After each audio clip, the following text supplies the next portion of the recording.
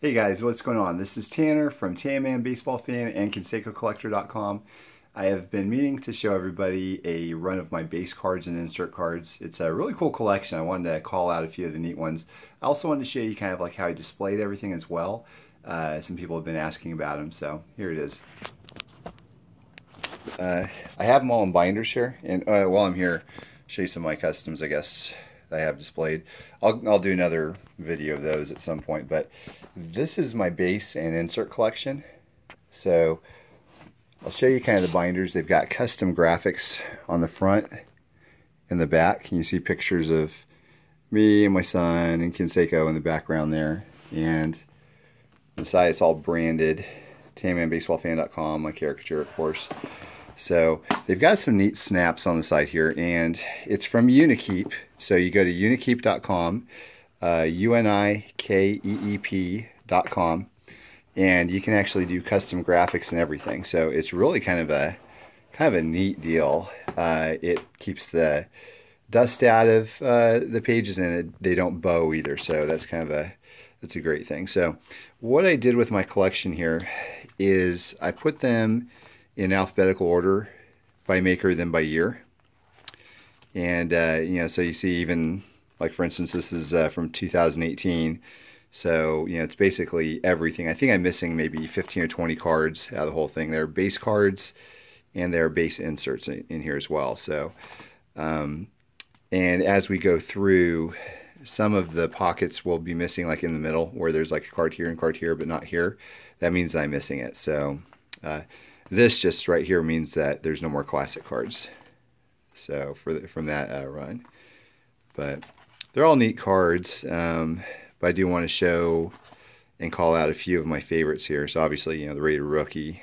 Everybody knows that one. Um, 89 Donruss. A lot of a lot of different 89 Donruss cards. Grand Slammers, that's one of my favorites. Um, I remember I learned on this card uh, when I was younger to not write on a sleeve when the card is actually in it because I actually put the uh, uh, it indented the pen writing right here on the card as well. So learned a learned a hard lesson that day on my 91 Donruss Grand Slammers Canseco cards. So uh, there's some really neat inserts here uh, that they came out with, and they're actually very inexpensive as well. So that's kind of a cool thing. So all my you know higher end stuff is in my uh, suitcase here. I'll show that more in depth later as well. Um, but right now we're just focusing on the base. I'll call out a few of the cards here. So this, for instance, round numbers, Donruss Elite, if it'll, yeah, there we go. Love how it shines. Very nice card. I think it's number out 500. Yeah, 500. So not an expensive card. Not expensive card at all, but let me put this down real quick. I'll put it back. Okay. I'm gonna quickly move until move through these until I find something I like here. So this is probably my favorite base card of all time. 1999 EX, I think. It's a clear card. It's got some refractive uh, refractive finish finishing on the name and the background and everything. It is a beautiful card. Um, again, it's probably my favorite base card ever. Um, and it looks a lot better than the expensive parallels as well. So, you know, that's always a, always a plus. Of course, you have like the die cut, exciting card there. Then some Flair. Love the 93 Flair. That's probably my favorite out of all the Flairs. Just not, you know, not a valuable card, but, you know, it's beautiful. Then you have the Fleer box set cards. This one right here, I have many childhood memories about that. It's one of my favorites. Um, I love that card. I really do. It's uh, and this card here, this actually had uh, three variations on it, um, where there's a line at the top and at the bottom and no line at all. Well, I don't do variations anymore, so I just have that one. A couple A6 Fleer rookies. This one is a wax box bottom. There's a gray back and white back. I have the gray back. That's the most common one. Not looking into getting everything anymore, so It's nice to have a representation of each one, though. You know what I mean? I mean, it's uh, works out nicely that way for me, anyway.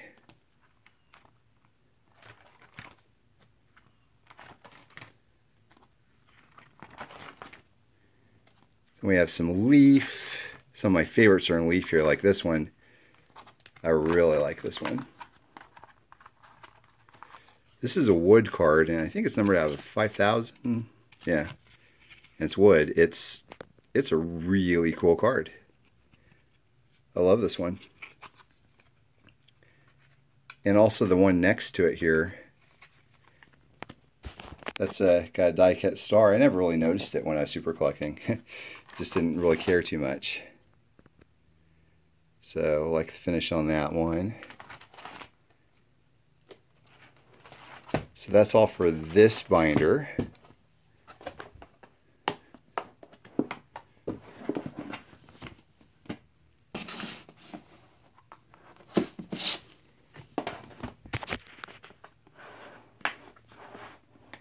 Show some more of uh, what's here. We have the Skybox cards and uh, Mother's Cookies cards. Oh, can't tell you how much I love these.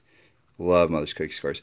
I'm actually missing the Canseco Reggie Jackson because I sold that one out of everything else. And I decided to keep the rest. So looking to get it back now. Um, OPC, Pacific. This is when you get into the Pacific stuff. This is probably some of my favorites um, out of all these binders. I'm missing uh, one of these guys. I think it's uh, uh, maybe it's a Juan Gonzalez and Canseco. I think that's it.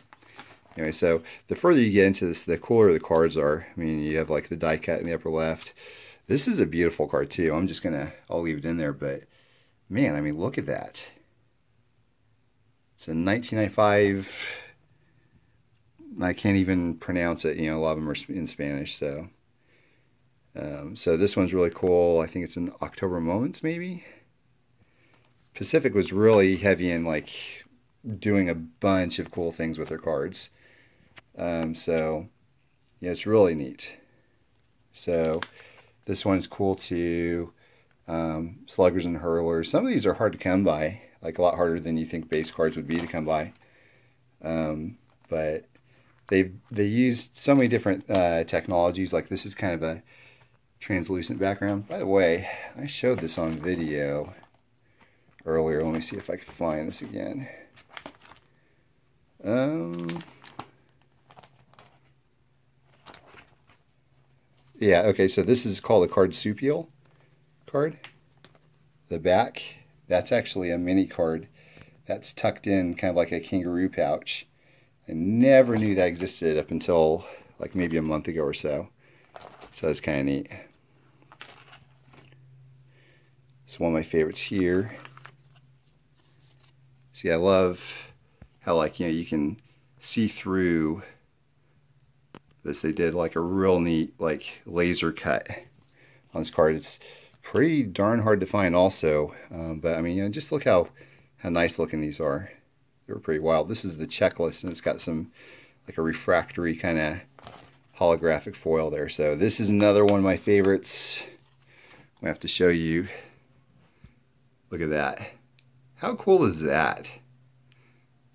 So, you know, it's some of these are a little more pricey. Um, but because they're base and not like super, super expensive, I figure I go ahead and include them. This has wood right here. It's a wood insert. And then, I mean, you know, just look at the artwork. It's really cool. There's, I love Pacific from these years. Okay, and then we go into uh, Pinnacle. That's really cool. And it's like the, know, one of the first ones that uh, Dufex was used for Canseco. Um, again, I don't have any parallels or anything like that in, in here, so I have a couple museum and artist proofs, but they're not in this binder or anything. Score. I did decide to do a couple um, promos. You know, like this is the promo, I think, or the sample. Yeah. Score, score, score. When I sold out my collection the first time, uh, this is one of the cards I decided to keep because it's just a beautiful card. I love when you can see through them and just think it's really, really kind of a cool, cool deal they did. So holographics, uh, hollow view, I guess is what it's called. Die cut. This is kind of a cool one. Bonds on one side, McGwire on the other, Canseco in the middle. So I really appreciate all the ingenuity and all the creativity they had back then. I think it's really, really something really fun. So Sportflics, of course. Everybody remembers Sportflics.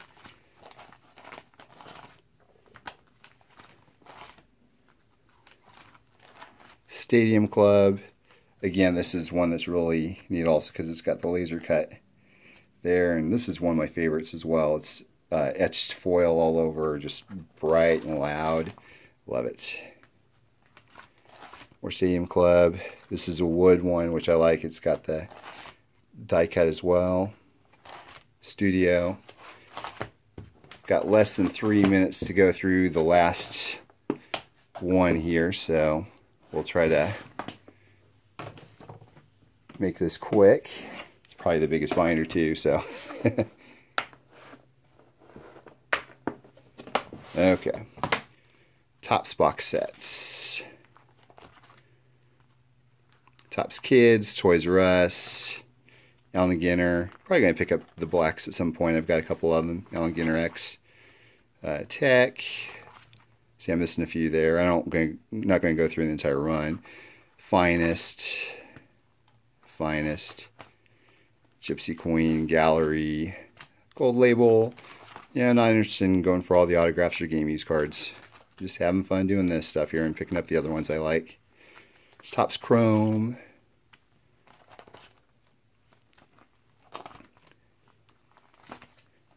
Topps Chrome, Topps Chrome. Some more Topps. Fleer Ultra, another wood card, love that. Looking for the Fleer Ultra Home Run Kings, or uh, Thunderclap rather. Um, yeah, that's why that's blank there. Upper Deck. I've got the gold medallion, but I'm looking for the regular. So a couple awesome holograms. Upper Deck.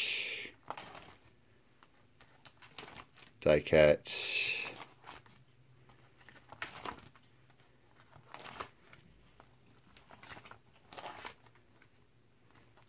Upper Deck did some really neat stuff too, but uh, Ultra is one of my favorites also, by the way. So then, you know, when Canseco came back out with cards, they had some goofy stuff like this, which is really kind of kind of a bizarre deal.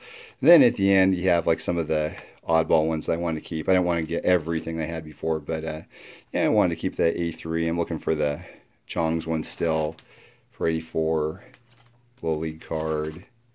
Just a few of my favorites in the back. So, anyways. All right, well, we made it. That is the entire run of what I have so far as far as base and base inserts go. Thanks for watching, guys. Have a great day.